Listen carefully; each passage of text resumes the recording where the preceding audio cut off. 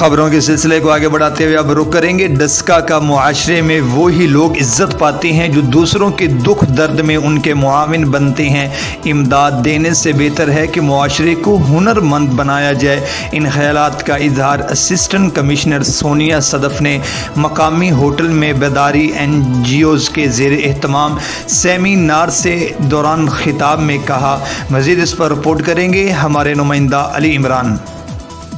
हाँ जी, बिल्कुल। बेदारी एन का एक सेमिनार मकामी होटल में मनद हुआ, जिसमें बेदारी एन के executive director Bedari Mohammad Arshad, Mahmood Mirza Rizwan Malik, नातमा Arshad, Asif Raza project director Bedari Mohammad Rizwan social organizer और समाजी रहनमा असद जाफरी समेत शहरीों की कसर तादाद ने शिरकत की। सेमिनार में बेदारी तंजीम के रहनुमाओं ने, खातन बेदारी आगाही के हवाले से तफसील से रोशनी डाली और बताया कि बेदारी माशरे में हुनर और हुनर खातन को हुनरमंद बनाकर इनको कामयाबी ज़िंदगी गुजारने का प्लेटफार्म मुहैया कर रही है, जिससे ज़िला भर से सैकड़ों खातन को हुनरमंद बना चुकी है। आहर में मेहमानों को पुरतकल्लफ लंच दिया गया। कैमरामैन टीम के साथ Ali Imran city five news, Sialkot.